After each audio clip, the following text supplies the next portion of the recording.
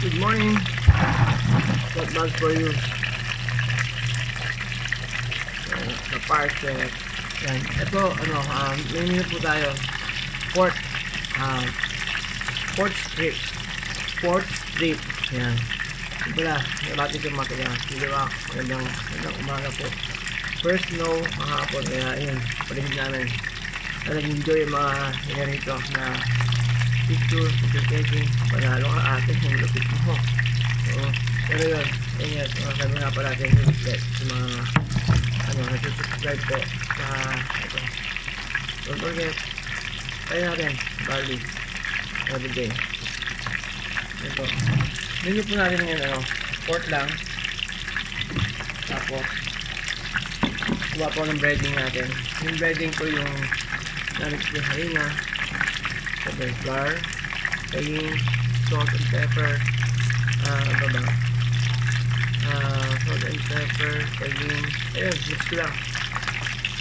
Ito yung sura niya, kung luto. Tapos pork, pork strip. Ayun, bahala po kung ano sukat niya, pwede nyo, pork chop yan. Ito po yung menu natin. Tapos, pwede natin lagyan ng mga sauce. Yung hot sauce, yung mga bibili natin. Siyempre meron po tayo ano, uh, tapos na ginawa yung honey garlic na ano, talagang, hindi ko, recipe po sa inyo, sa inyong recipe. Kaya, try po natin pag ano, mga taga gigawa. So, pinapasok ko may honey garlic din, masarap din po doon. Ayun po. Ayun po. Ah, mo pala ano, ah, salamat ako sa mga kikiwala dahil yung mga order akong pagkain, pang ano, pang Pasko, ayos. Hindi kayo magsisisi, promise. Oo. Yung sisig natin sa yung buffalo platter. Ayun, ito po, pork.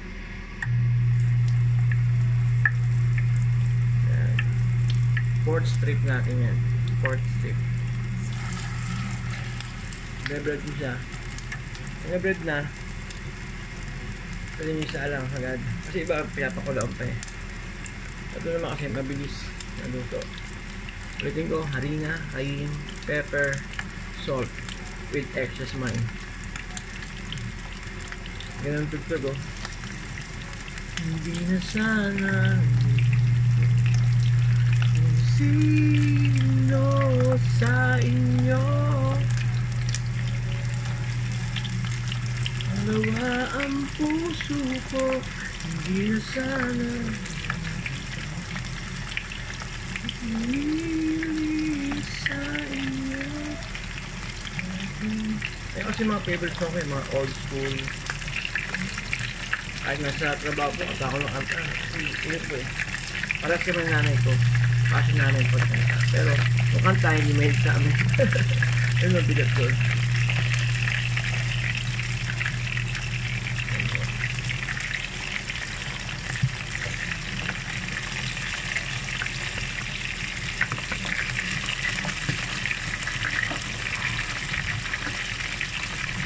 May, mga barangay may bunga po. Ang konsin yung baduin. It's not bad for you. Meron ko na masa. Ito po.